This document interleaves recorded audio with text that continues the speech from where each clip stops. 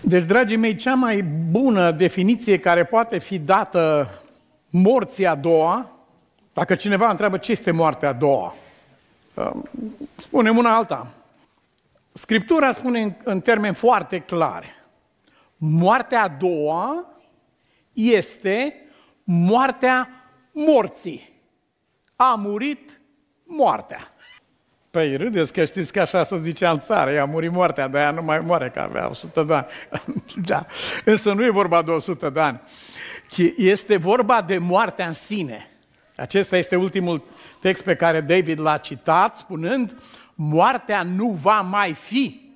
Deci este moartea morții. Moartea și locuința morților au fost desfințate. Acesta este cuvântul cuprins în cel de-al patrulea verset al Psalmului 23, uh, în care, din care ciugulim noi câte ceva, nu avem timp să adunăm prea multe, este, e o mină acolo atât de bogată și s-a dovedit bogăția acestei mine de adevăr și de mângâiere sufletească și de lumină a Psalmului 23 s-a dovedit prin faptul că a fost adoptat la scară planetară. Oriunde vom merge pe planeta Pământ, se știe acest Psalm 23. Și versetul 4 spune, chiar dacă ar fi să umblu prin valea umbrei morții, nu mă tem de niciun rău. Nu fiindcă moartea ea nu e urâtă și nu e înspăimântătoare, nu mă tem de niciun rău pentru că tu ești cu mine. Și în prezența ta nu există frică, nu există spaime, nu există îngrijorări. În prezența ta aceste lucruri nu trăiesc. Chiar dacă ar fi să umblu prin valea umbrei morții. Dar noi aici unde suntem? Păi nu este clar unde suntem. Nu e clar că în fiecare zi umblăm prin Valea Umbrei Morții? Nu e clar că a plecat cineva de la biserică și n-a mai ajuns acasă? Și dacă unul suna, pe unde ești, sora? Uh, sunt pe strada cu tare. Nu, era prin Valea Umbrei Morților. Și n-a ajuns. Nu e adevărat că unul a spus la revedere, ne vedem data viitoare și nu ne-a mai văzut? Nu e așa că o ruda mea a luat cu furculița o bucată de roșie dintr-o salată și când a deschis gura să înghite, i-a trecut o schijă prin tâmplă și acolo a fost mort. Aceasta e o realitate. Nu e cazul să pună cineva capul nisipă, să nu, pe copiii noștri să-i păzim, să luăm chiar de pe ecran orice fel de imagine cu animale care uh, sfârși alte animale. Nu, aceasta e realitatea. Indiferent cât de mult am încercat noi să punem capul un nisip. Și nu este legat nici de sănătatea și nici de averea cuiva și nici de faima cuiva lucrul acesta, viața și moartea. Ci cel mai, punctul cel mai important la acest capitol, care este o preocupare a ființei umane de când e lumea și pământul, ideea aceasta a morții, a sfârșitului călătoriei pe pământ, e o preocupare absolut generală, punctul cel mai însemnat al acestui lucru nu este ce e moartea, ce o fi după moarte, ce să... Uh, tot felul de teorii sunt frumoase, că mai trece timpul, mai, mai discutăm una alta, chiar curioase. Am urmărit recent un documentar, l-au întrebat pe un tribal din acesta, dintr-un ultim trib de, uh, din aceștia care a, a trăiesc din, din vânat și din ce adună de pe, de pe... L-au întrebat și pe omul ăsta, dar tu ce zici, frate? Că este, au avut translator. Ce părere ai tu că se întâmplă cu un om după ce moare? Oh, chiar așa a spus el, asta e treabă serioasă. Zice, eu cred că merge în soare, după părerea mea, așa a răspuns el. Zice, eu cred că merge în soare. Ați fi fiu, uh, uh, cineva uh, de acolo traducea expresia aceasta. Și pe el îl preocupa lucrul acesta. A spus că punctul cel mai important este să aibă carne în fiecare zi, dar dacă e să fie întrebat cu privire la problema care preocupă sufletul lui, aceasta ar fi. Unde merge după? Punctul cel mai important nu este unde mergem, cu ce, ce este moartea în sine și așa mai departe, ă, deși toate acestea au un impact. Punctul cel mai important este cu cine suntem în această vale. Asta e tot. Asta e tot. Cu cine suntem? Nu mă tem de niciun rău, căci tu, tu ești cu mine. Și atunci nu e nicio vale a morții. Să fie sănătoasă și să fie la ei. Dacă tu ești cu mine, asta e tot. Iubiții mei, ă, prima conversație pe care am avut-o cu tanti Marioara, cea care avea capre, prima conversație pe care am avut-o cu Dumnezeu după ce s-a auzit în sat că un zebzec ca mine a devenit adventist creștin. Imediat m-a oprit femeia aceasta. Și a zis, ce mă? Și de toate. Dar a avut o întrebare pentru mine. E, și ce mă, acum dacă te-ai dus acolo, nu mai muriți? Voi nu mai muriți? Asta a fost întrebarea dumneai. Nu știu ce fi bâșbâi, dar, Tante Mariara, acum să mă întrebi. Dacă mă întrebi acum, nu scap din mâinile mele 12 ore, dacă e vorba să-ți răspund la întrebarea aceasta. Acum să mă întrebi. Dar atunci, nu am știut atunci să răspund, dar nu înseamnă că nu exista un răspuns, decât că nu-l aveam eu, dar exista. Și răspunsul o să-l primim noi astăzi. De ce vorbim aceste lucruri, dragii mei? Uh, eu nu o să fiu lângă tine când ai să-ți încetezi viața, pentru că uh, uh, am fost lângă foarte multă lume pe traseul acesta, mi-a rămas în minte, mi-au rămas multe lucruri. Tu n-ai să fii lângă mine, de asemenea. Și eu aș vrea să învățăm un singur lucru. Nu, nu cer să fie nimeni lângă mine, afară de ceea ce învățăm aici, în textul acesta. Tu ești cu mine în momentul ăsta. Atâta tot. Altceva nu cer. Altceva nu cer. Toate celelalte sunt plus. Sunt bonus, aș zice. Dar acest lucru îl cer și îl doresc fierbinte. Vreau ca tu să fii cu mine în clipa aceea. Și atâta tot. Altceva nu-mi trebuie. Nu întreb nimic, n-am nicio întrebare, decât atâta cer prezența ta, Doamne, în locul acesta, așa cum scrie psalmul. Toiagul și nuiaua ta mă mângâie, adică îmi dă încredere în suflet mă ajută să găsesc această speranță, indiferent dacă locul se numește Valea Umbrei Morților. Ce este cu moartea aceasta care a luat în sclavie ființa umană, umanitatea, planeta? Scrie Scriptura în Evrei, capitolul 2, versetul 14, că prin frica morții, oamenii sunt ținuți în robie toată viața anumite religii și chiar numite creștine. Centrul lor de lucrare este moartea. Totul este urzit, țesut, construit pe moarte, pe ideea morții. Citim în Biblie despre un anume exod, că au ieșit din Egipt și au mers într-o altă țară, dar adevăratul exod nu este acesta. Aceasta este emigrare dintr-o țară în alta, cum și noi. Adevăratul exod a vorbit Isus despre el spunând, nu, cine este scos din păcat, acela trăiește adevăratul exod, robia. Cel care trăiește în păcat este robul păcatului. Și de acolo, acela este adevăratul exod. Acela care este scos din moarte la viață, acesta este adevăratul exod. El conduce adevăratul exod, adevărata ieșire. Aceasta este. Fiindcă aceia care au ieșit din Egipt au murit săracii. Cei mai mulți au murit în deșert, în țara nimănui, au ieșit din Egipt și n-au intrat în Canaan niciodată. Doi au trecut uh, hotarul în partea cealaltă, dar și ei au murit la rândul lor. Nu acesta este exodul. Nu aceasta este adevărata ieșire. Nu Moise a condus adevărata, adevărata ieșire, adevăratul exod, ci Iisus, Mântuitorul nostru, El conduce de la moarte la viață. Acesta este adevăratul exod. Și noi toți suntem astăzi uh, confruntați cu perspectiva aceasta, cu oferta aceasta a lui Dumnezeu. Este cineva printre voi care vrea să iasă astăzi de la moarte la viață. Acesta este e cuvântul care ne este dat și pe care cer bunului Dumnezeu să-l păstreze viu în sufletele noastre. Dumnezeu nu ne-a dat un duh de frică. Nu. No.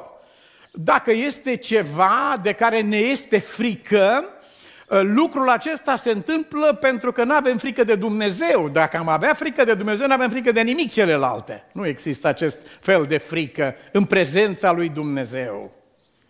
Încrederea în Dumnezeu e un mediu în care frica, ura, păcatul, fără de lege, astea nu trăiesc acolo. Cum nu trăiesc virusii în soare, spre exemplu, la, uh, la, sub radiația soarelui, ei nu trăiesc, sau microbi, sau uh, microorganisme de, în lumina soarelui. Tot la fel, în prezența lui, acest fel de lucruri nu trăiește.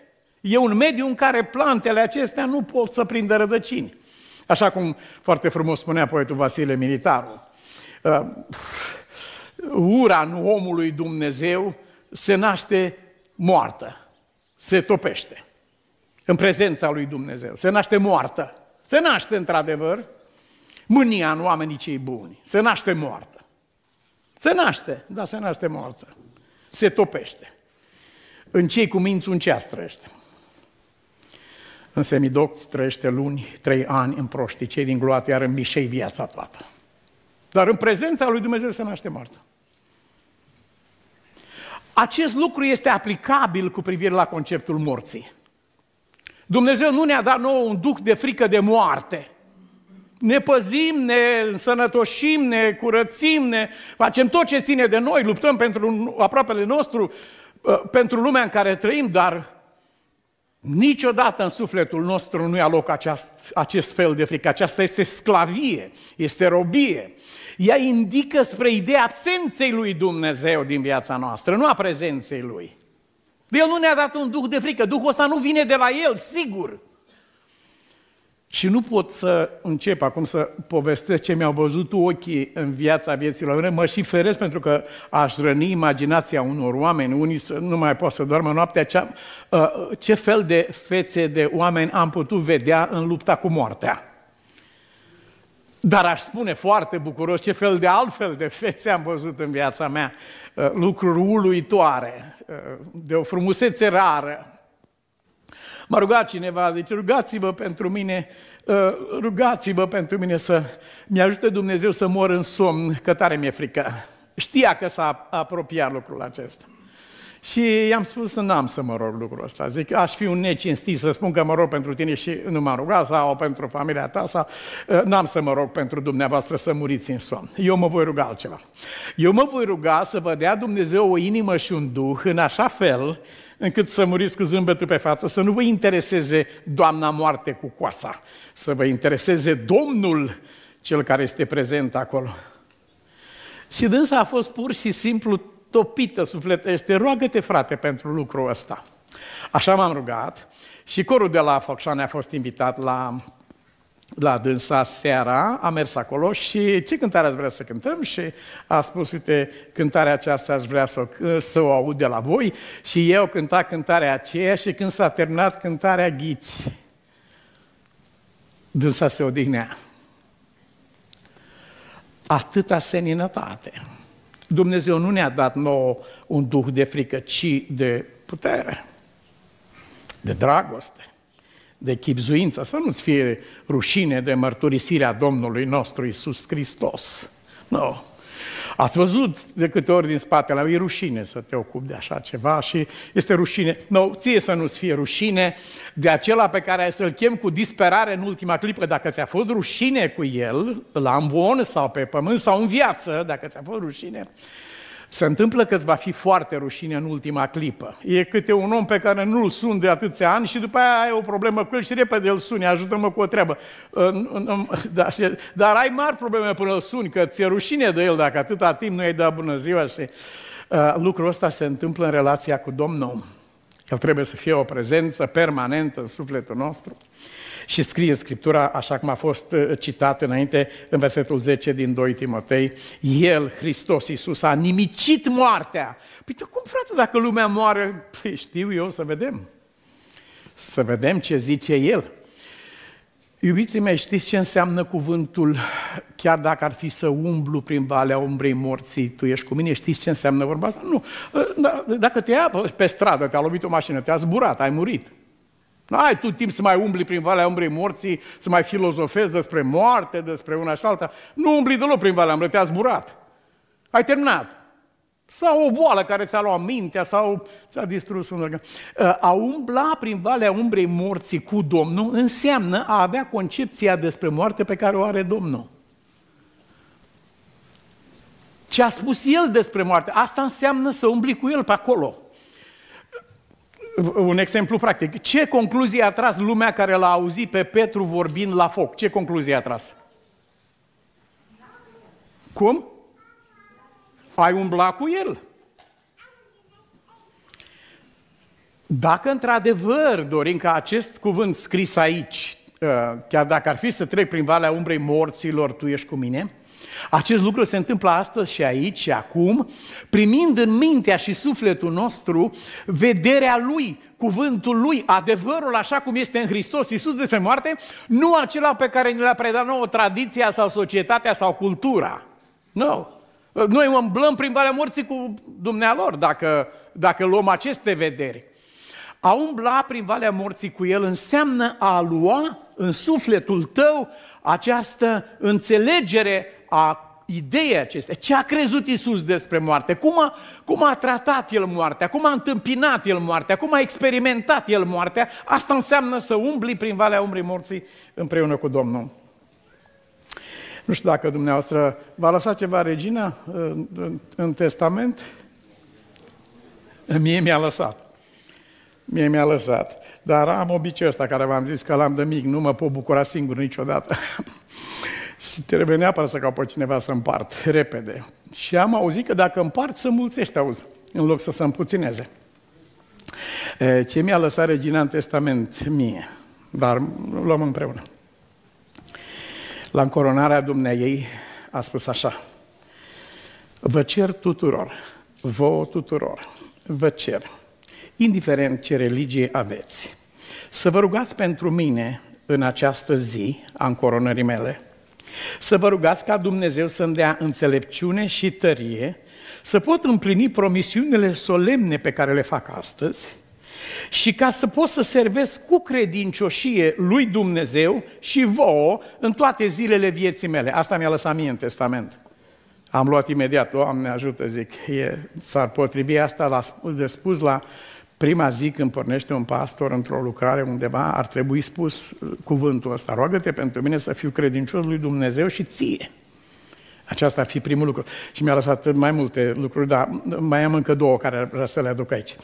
Cu ocazia uh, unei cuvântări pe care a ținut-o în fața națiunii odată pe an, uh, domnia s-a spus, uh, ce altă sursă de inspirație mai mare, ce altă sursă de sfătuire mai mare Către ce altă sursă de înțelepciune mai mare am putea să ne îndreptăm decât către adevărul nepieritor care se găsește în tezaurul Scripturilor?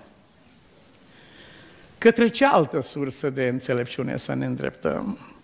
Cu privire la acest lucru care duce în robie planeta, lumea, către unde să ne îndreptăm? Dați-mi și mie, vă rog, o religie a omului ăsta care adună, vânează și adună. Dați-mi și mie o religie o credință care are o concepție despre moarte, unde, care ar putea să vindece sufletul omenesc de această frică, de această robie, de această permanentă prezență în minte. Dați-mi o religie.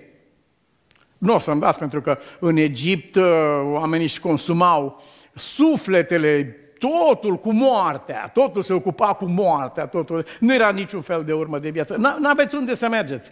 Și nu spun asta pentru noi care suntem aici, spun întregei lumii, dacă cineva poate găsi o concepție mai înaltă cu privire la ființa umană în contextul acesta al văii umbrei morților, dacă se poate găsi o concepție mai înaltă, spuneți oameni buni, trebuie să audă lumea. Spuneți despre ce este vorba. Este ca un medicament împotriva cancerului sau altei suferinți. Spuneți oameni, nu lăsați oamenii să moară dacă știți ceva.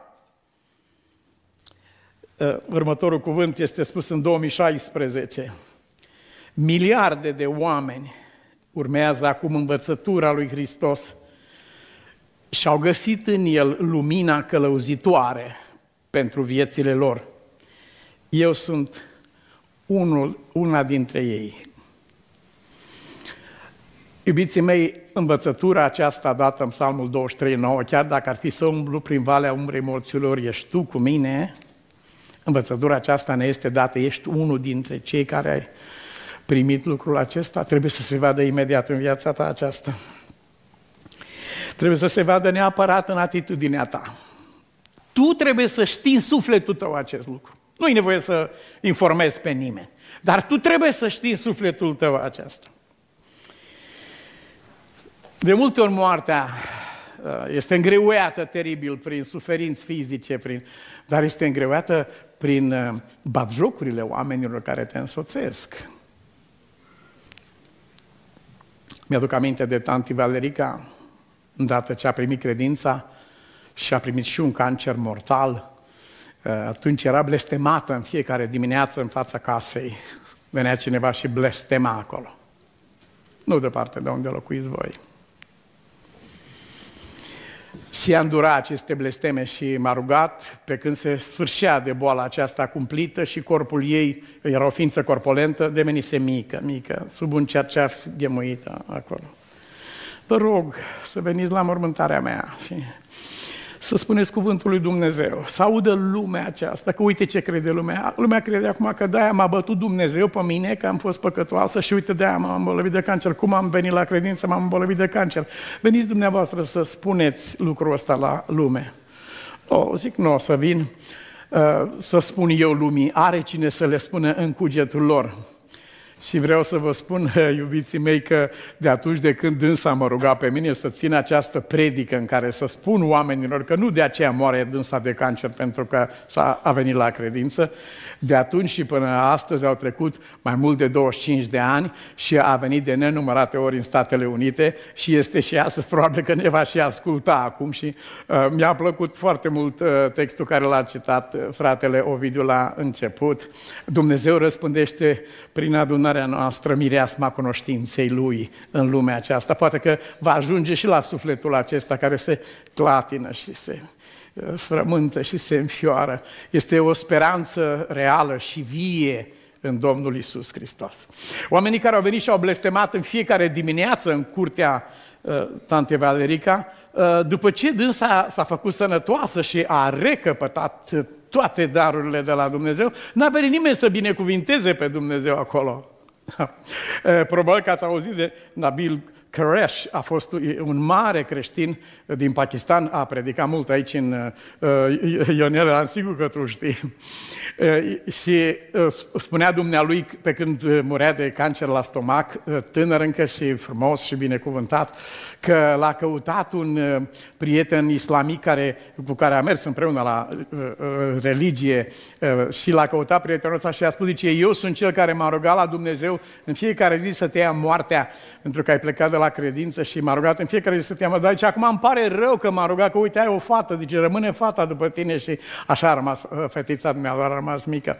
Uh, uh, dânsul spune, zice, un singur om, zice, s-a rugat pentru moartea mea, mulți, cine știe, Dumnezeu a numărat, dar unul singur și-a, și-a cerut iertare, îmi pare rău că m-a rugat pentru moartea ta. Iubiții mei, Domnul Iisus Hristos a spus, nu m-a rugat pentru moartea ta, ci m-a rugat pentru credința ta să nu se piardă așa ceva. Și când spune lucrul acesta, nu e ceva așa fazi, ceva cețos. Este ceva specific, concret. Și m-a rugat să nu se piardă niciodată credința ta că în valea umbrei morților eu sunt cu tine. Nu, nu, ă, noi legăm întotdeauna prezența lui Dumnezeu de bine, de binecuvântare, de însorit și așa mai departe. Și când se schimbă vremea, gata, Domnul nu e pe aici, ne zicem noi. Nu, eu sunt cu tine și acolo și acolo. Nu, nu, ace- nu locul acesta arată prezența lui Dumnezeu, ci făgăduința pe care El ne-a dat-o. E adevărat că viața este un abur care se înalță puțin tel și spune Iacov, ar fi bine să-ți aduci aminte de lucrul acesta atunci când te cuprinde un simțământ sau altul, e bine să-ți aduci aminte că ești un abur care plutești puțin tel și lucrul acesta nu este de, de spaimă, nu este o amenințare, este o realitate. Dacă doctorul spune mai ai 90 de zile, așa i-a spus prietenii noastre de familie, eram în casa dumneiei. Ne-am despărțit exploziv de frumos, vin imediat, facem o salată, va fi nemaipomenit, așa, gata, s-a întors dumneiei acasă, și deja soțul dânseia o cunoștea mult mai bine decât aș fi putut să recunosc eu, dar și eu am văzut că era fața schimbată. A plecat sănătoasă, bine, mare, fericită, a adus cumpărăturile acasă împreună cu vestea de la spitalul Loma Linda. Frate Nicu, mai am de 390 de zile. No! Cine a spus vorba asta? Zic. No. Și n-au trecut nici măcar 90 de zile. Iubiții mei, aceasta e realitatea vieții. Dar mult mai real decât lucrul acesta este că eu sunt cu tine. Eu nu sunt mai puțin prezent într-o astfel, în ulti, aceste 90 de zile, decât am fost în ceilalți ani. Sunt tot așa de prezent. Ce este această moarte? Le iei tu suflarea, ele mor. Se întorc în țărână. Îți trimiți tu suflarea, ele sunt zidite și înnoiești astfel fața pământului. Dar ce e viața până la urmă? Ce e suflarea asta de la Dumnezeu? E un suflet care merge așa, zice așa, să ce e asta? De ce îți bagi nasul acolo? De ce te interesează ce nu ți-a descoperit Dumnezeu?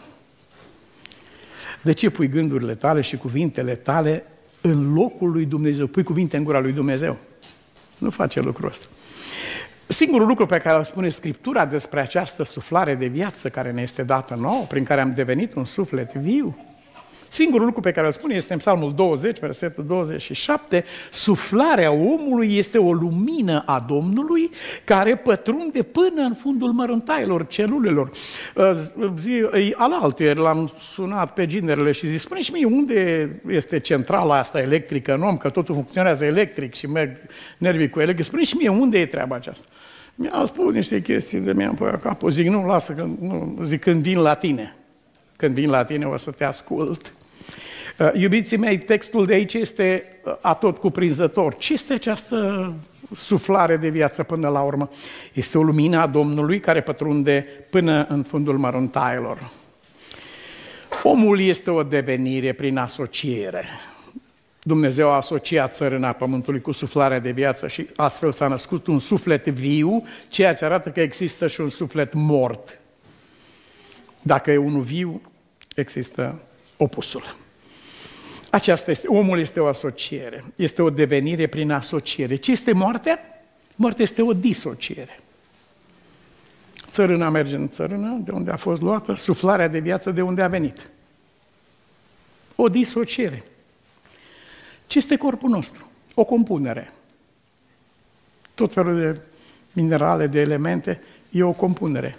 Ce este moartea corpului nostru? O descompunere. Lucrurile sunt foarte simple. Dar nu aceasta preocupă sufletul omenesc, ci vrea să știe dacă există vreo speranță. Și speranța este legată de cuvântul ăsta. Vezi că eu sunt prezent în treaba aceasta. Nu te speria de moarte, ci bucură-te de prezența lui Dumnezeu. Nu umbla în sclavia aceasta, pentru că El a nimicit moartea. Păi da, cum se face că oamenii tot mai mor? Ei, depinde sub ce fel de lege se, găsește, se găsește un om. Sunt două legi. Un om se poate găsi sub una dintre aceste legi. Ori se găsește sub legea păcatului și a morții, asta e omul firesc. Ori se găsește sub legea Duhului de viață în Hristos Iisus, care a nimicit legea păcatului și a morții. Eu nu sunt sub legea păcatului și a morții. Păi dar tu nu o să mori? Ah. Fiul lui Dumnezeu a spus, cine crede în mine nu va muri. Acum eu știu ce se întâmplă la cimitir, știu și eu unde am fost de atâtea ori, treaba morților, treaba cimitirului, el e singurul loc în care nu are loc nicio schimbare, nici umbră de mutare în caracterele oamenilor. Ce a intrat, așa rămâne. Dar cum aș putea să asociez lucrul acesta cu cuvintele care mi-au fost spuse? Cine crede în mine nu va muri niciodată. Păi cum să faci asta? Nu știu, las că îl întrebăm, îl întrebăm pe Domnul, o să aflăm. Nu ne-a spus mai mult de atât dar ne-a dat această asigurare. O să și citim în adevăr. În adevăr, Roman 8 cu 2, legea Duhului de viață în Hristos Iisus m-a izbăvit, m-a eliberat, m-a scos de sub legea păcatului și a morții. Nu sunt sub această lege. Nu mai sunt din clipa în care am crezut în Domnul Iisus Hristos. Astfel scrie cuvântul lui Dumnezeu. Dacă am murit împreună cu Hristos, atunci credem că vom și trăi împreună cu El, întrucât Știm că Hristosul înviat din morți nu mai moare. Nu, nu este clar lucrul acesta. Nu mai trăiesc eu, ci Hristos trăiește în mine și despre El Sfânta Scriptură spune Hristosul înviat nu mai moare. Nu încercam să trecem dincolo de lucrurile acestea, că acolo mintea iscoditoare a omului este ispitită de diavol. Să rămân rămânem la cuvintele care ne-au fost spuse. Și cuvântul acesta este de așa natură, încât Iisus a spus, a câștigat-o la credință pe Marta, ea credea că învierea este un eveniment care se va întâmpla cândva, fratele ei va... Și Iisus a câștigat-o la credință spunând, nu, învierea nu este un eveniment care se va întâmpla cândva, învierea este o persoană care e prezentă chiar aici lângă tine, eu sunt învierea. Wow! Pe altă planetă în cazul acesta. Și într-adevăr că o altă planetă a fost. Dar cum rămâne cu judecata? Păi judecata are loc chiar acum. Legată chiar de cuvintele acestea care le-am învățat. Da, este de apoi. Tu să rămâi la de apoi. Dar Iisus spune următoarele cuvinte. Acum are loc judecata lumii acesteia. Acum. Acum stăpânitorul lumii acesteia, cel care ține în robie prin frica morții omenirea, stăpânitorul lumii acesteia va fi scos afară. Acum are loc judecata aceasta. Dumnezeu nu a trimis pe Fiul Său în lume ca să judece lumea, ci ca lumea să fie mântuită prin El. Oricine crede în El nu este judecat. Dacă vrea cineva să asculte, dacă vrea cineva să creadă, să primească aceste cuvinte.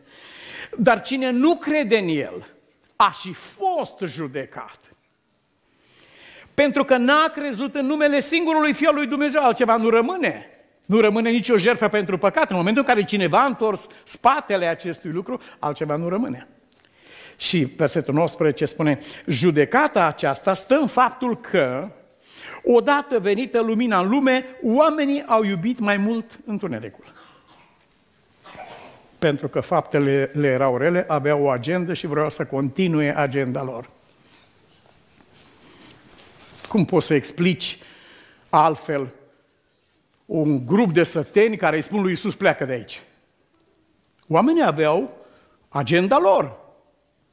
Agenda lor consta în a crește porci. Dacă ăsta mai stă pe aici, aruncă alte 2000 de porci în apă. Nu e cazul. Și noi, noi vrem să rămânem cu asta. Pleacă de aici și el a plecat. Așa după cum vine când este chemat, în același fel pleacă în momentul în care este trimis.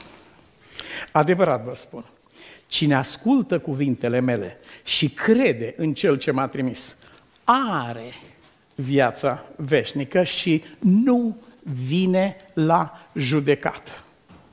Acestea sunt cuvintele lui. Păi, dar parcă nu se potrivesc. Știu, dar le alegem pe ale lui. Nu vine la judecată, ci a trecut din moarte la viață. Acesta este cuvântul lui.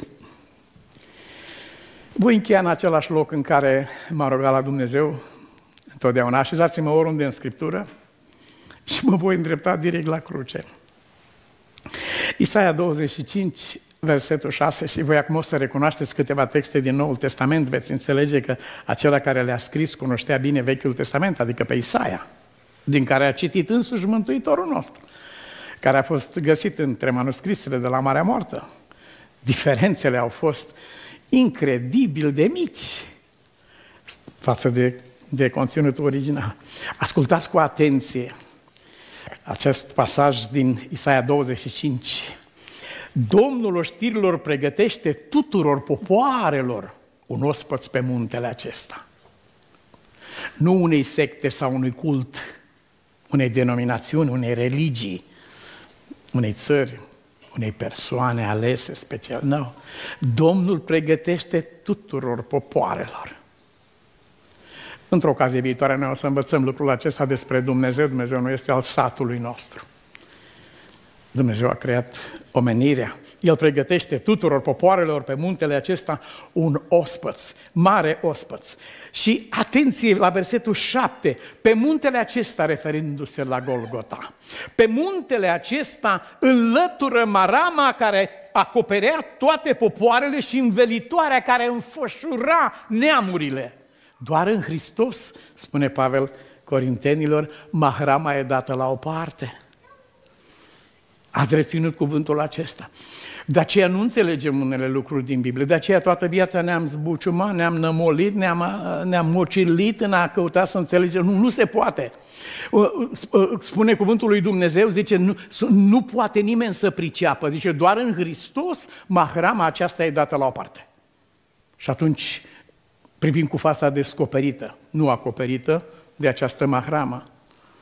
Fie că sunt tradiții, fie că sunt crezuri ale oamenilor, fie că sunt, e cultură sau imaginație sau așa, acestea acoperă. Dar pe muntele acesta, scrie Scriptura, Dumnezeu înlătură marama care acoperă toate popoarele și învelitoarea care înfășoară toate neamurile și versetul 8, cea mai bună veste bună imaginabilă, nimicește moartea pe vecie. Acolo se întâmplă, pe muntele acesta nimicește moartea, aceasta e moartea morții, aceasta e pedeapsa capitală care este dată morții. Aici moartea este condamnată la moarte. Prin moartea lui, el a condamnat moartea la moarte. Și cuvântul lui Dumnezeu continuă, Dumnezeu șterge lacrimile de pe toate fețele și îndepărtează de pe tot pământul o cara poporului său. Da, Domnul a vorbit, nu predicatorul ăsta de aici. Da, Domnul a vorbit.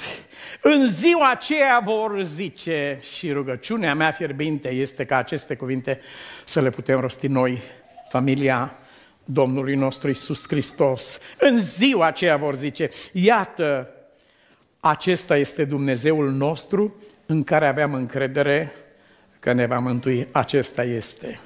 Acesta este Domnul în care ne încredeam. Acum să ne veselim și să ne bucurăm de mântuirea Lui. Aceasta e rugăciunea sufletului nostru, Tată, ca aceste cuvinte să poată fi spuse de copiii noștri, de toți cei care sunt la masă în casa noastră, de cei care sunt la masa cuvântului Tău în casa Ta, de toate popoarele, cum ai spus. Fâșie, Doamne, marama de la ochii multor oameni care umblă în întuneric și în umbra morții, și ajută-ne ca niciodată să nu uităm că ești cu noi, ești cu mine. Rămână harul tău peste casa ta, Doamne, peste toți cei iubiți de pretutindeni care vor participa la programul acesta. Și dincolo de orice, peste numele Tău cel Sfânt, în numele Domnului Isus. Amin.